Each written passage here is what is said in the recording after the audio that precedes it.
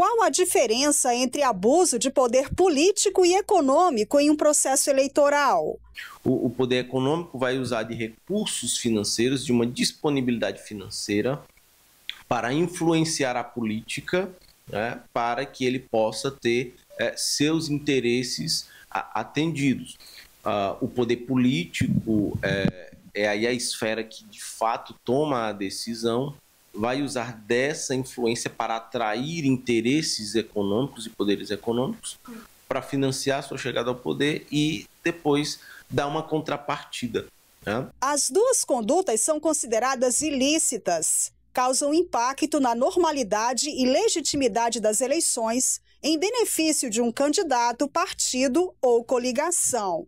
E aí tem um estudioso uh, na economia, o economista americano Robert Klitgard, ele montou uma equação para se entender a corrupção, em que ele vai dizer que geralmente quando muitos interesses econômicos é, é, eles é, precisam né, de uma influência política, quando essa influência política ela é tomada é, de forma por poucas pessoas, quando não há transparência, geralmente essa combinação pode causar eventos de corrupção.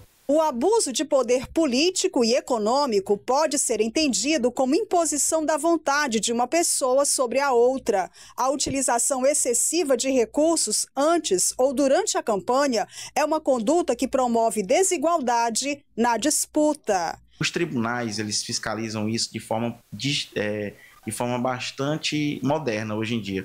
Eles acompanham atentamente as redes sociais, eles fazem circularização de dados e também os adversários e eleitores cumprem um grande papel nesse tipo de ação de abuso de poder político e econômico, quando eles denunciam essas práticas às autoridades, ao Ministério Público, à própria Justiça Eleitoral. Quando o candidato abusa do poder político, tem relação com a liberdade de voto. Em todos os casos, se comprovadas as denúncias, os candidatos, mesmo se eleitos, podem ser cassados.